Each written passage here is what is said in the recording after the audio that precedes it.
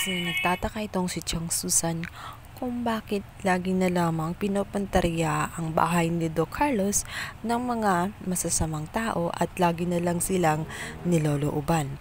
Hindi na niya maintindihan kung bakit nangyari yun sa kanila. Tuloy itong si Jiang Susan kung talaga bang nagsasabi ng katotohanan itong si Carlos o nagdadahilan lamang. Di kaya may ibang ginawa itong si Carlos? Mga ilang saglit pa ay lalo pa siyang nagtaka kung bakit tela nga ito natutulala at malalim ang iniisip. Dito pala ay naisip ni Carlos ang kanyang ginawa tungkol kay Irene.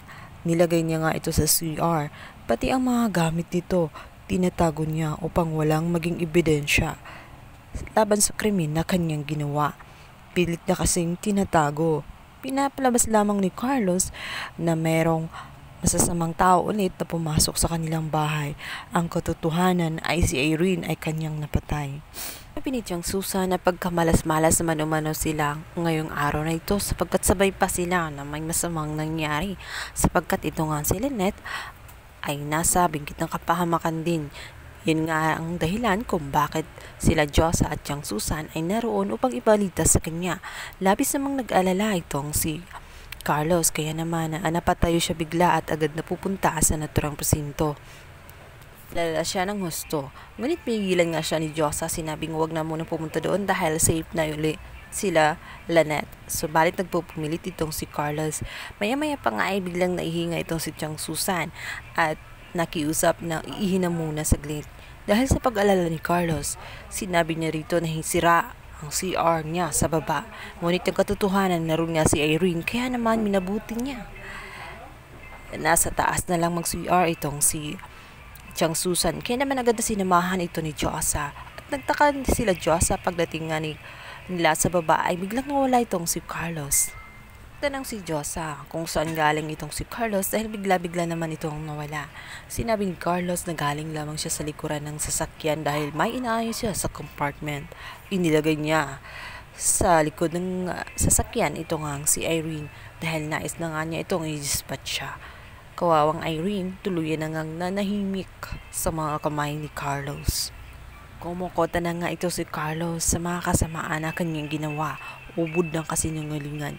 At kung magsalita pa ay akala mo kung sinong malinis, yun pala ay maraming mga bahong tinatago.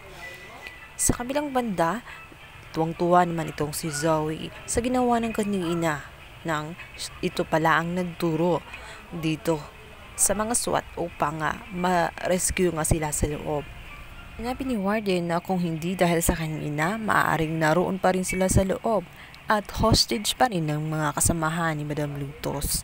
Sa kabilang banda naman, ito nga si Madam Lutos at ang mga kasamahan nito ay nilagay na nga sa Bartolina. At bilang kabayaran nga sa kabutihan na ginawa ni Moira, ay siya muna ang pinatulog sa napakagandang higaan itong si Madam Lutos habang si Madam Lutos ay naroon nga sa Bartolina upang pagdusahan ang kanyang ginawa. Maluwag namang tinanggap ni Lutos ang kasalanan niya at handa siyang pagdusahan Nais na niyang magbago ng tuluyan alang-alang sa kanyang anak na si Carla sapagkat yun nga ang hiling ni Carla ang maging mabuting tao siya. Nang sa ganun, kapag gumaling nga siya ay madalaw niya itong kanyang inang si Lutus. Ganoon ay naging mabait nga itong si Lutus kay Annalyn.